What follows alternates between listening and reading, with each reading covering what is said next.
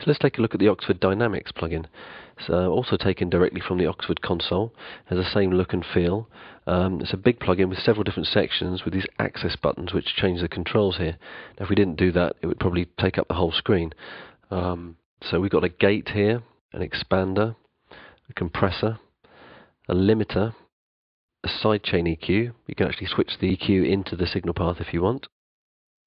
Um, and a warmth control. So quite a big plugin. So let's hear it in action. I've got a snare mic here, um, and there's a kick drum that's bleeding through onto the, the snare track. So I'm going to try and gate it out with our gate section. There's a slight overload here. The snare's very hard, so I'm just going to switch the limiter in just to protect our output. And you'll notice that we're not overloading anymore because I'm just limiting slightly.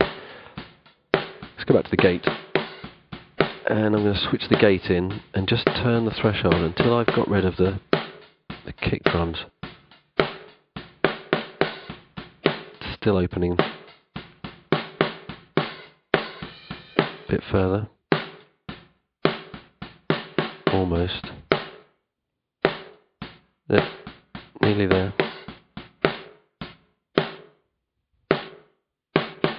There you go. Just left with the snare drum no kick drum. Um, I'm going to compress the snare slightly just to even them out so the hits are all fairly even and to bring up a bit of the zappiness of the snare without and with. So very quickly I've got a nice sounding snare.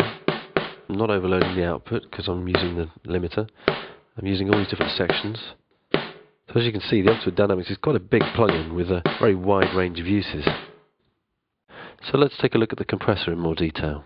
Uh, you've got some controls here in the center section. You've got even a, a variable soft knee. Um, normally it's either soft or hard, but if you look at the um, this point here, as I change in 5 dB increments, you can see very subtly that they're changing in 5 dB steps.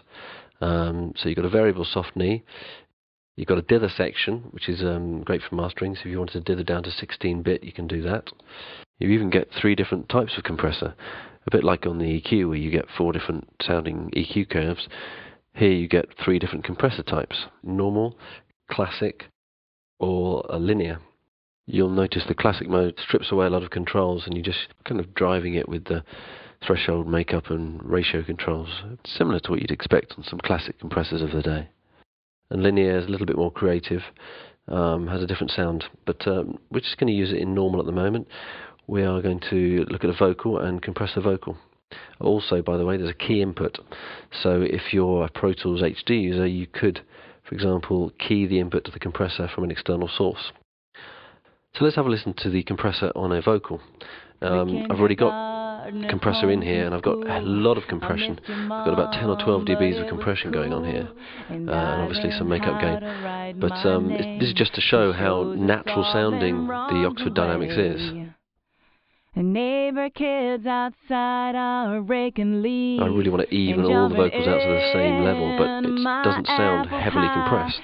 A lot of other compressors, you dial in 10, 12 dBs of compression, you're going to really hear it. Home from school. That's one of the key points about the Oxford Dynamics and the EQ, is that they're very transparent. I learned how to write my name. You'll also notice that I've got um, an expander coming in here. Very, very quick setting. Just so that in between phrases, in, in between lines, it cuts out all background noise, headphones spill, unwanted breaths and stuff like that. Very, very clean. And I've also got the warmth control in here. Cool. If I can switch this in and out, I'll show you. I've got this on 100% just to give it a real nice warmth. Switched it out. And neighbor kids I'll switch it back in again. Raking leaves and jumping in. Just gives it a really nice warmth. And out. Cast a spell with cinnamon. The kindergartner's home from school. I missed your mom, but it was cool. And I so really ideal for processing vocals. So now final example, let's have a look at what the dynamics can do for a bass guitar track. Let's take all the sections out so we can just hear it in its raw state. Let's even solo the bass so we can just hear it on its own. So there's our bass, nicely recorded, but we can make it a little bit thumpier, give it a bit of a harder edge, we can do that with a compressor. To switch the compressor in. As you can see, we've got about 6 dBs of compression. There's a slight harder edge to it now, you can hear the pluck a bit more. With it off. Back in punchier. And now we want to brighten the strings up a little bit. I mentioned the sidechain EQ earlier, that can be used to key the gate or the compressor. But I can also switch it into the signal path. So I'm actually using this two band parametric EQ here. I'm using the high frequency to brighten up the strings. Give it a bit of a twang. With it off.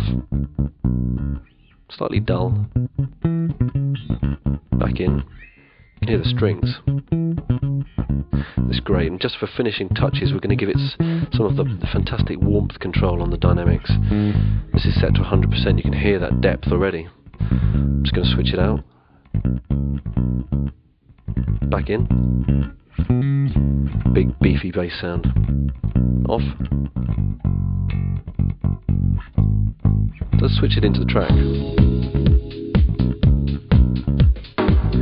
Bypass it, you'll hear it's sounding pretty weak. Back in. I'll just do that again. I'm going to bypass it. Now I'll bring the effect back in.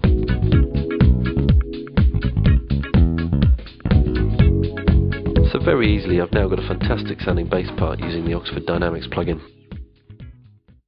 So let's recap. This is the dynamics section from the Sony OXFR3 digital console. It comprises of many sections including compressor, gate, expander, limiter, two-band sidechain EQ with audition function, warmth control for extra presence. You get three different compressor types with variable soft knee and a separate 5.1 bus compressor where supported.